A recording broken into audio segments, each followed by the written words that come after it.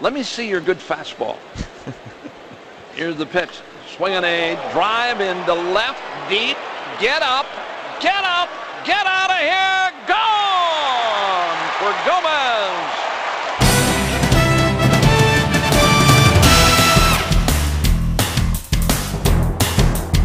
En esta oportunidad nos trasladamos a Miller Park, Milwaukee, donde el dominicano Carlos Gómez disparó cuadrangular solitario en la parte baja de la sexta entrada.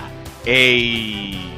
pero no pudo impedir la derrota de los cerveceros, 10 carreras por 8 frente a los padres. Gómez, quien ahora tiene 16 cuadrangulares en la presente estación, batió de 5-3 con dos anotaciones y una producida y ahora tiene 49 carreras impulsadas con promedio de 301. En el mismo encuentro, Juan Francisco batió de 4-1 con dos anotadas y una producida, mientras que Jim Segura terminó en blanco en 5 visitas al plato y batea 313. Edinson Volques se apuntó la victoria luego de lanzar 5 entradas y un tercio con 6 hits, 3 carreras, igual número de boletos y 5 ponches. El dominicano tiene marca de 8 y 8 y efectividad de 5.70.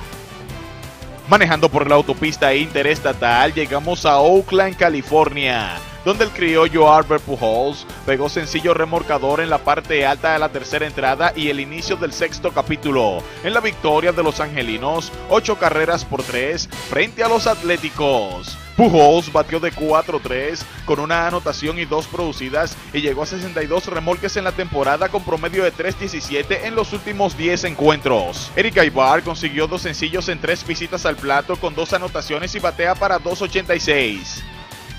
Finalmente, los cachorros de Chicago esperan por la decisión formal del dominicano Alfonso Soriano para remover su cláusula de no cambio y de esa manera completar su traspaso a los Yankees de Nueva York. En la negociación, los cachorros de Chicago asumirían la mayoría del contrato que aún se le adeuda a Soriano, unos 25 millones de dólares, de los cuales 18 serán pagados en 2014. Alfonso Soriano jugó para los Yankees de Nueva York desde 1999 hasta 2003, cuando fue canjeado por Alex Rodríguez. En la actual el dominicano tiene promedio de 2.54 con 17 cuadrangulares y 51 carreras impulsadas con los cachorros.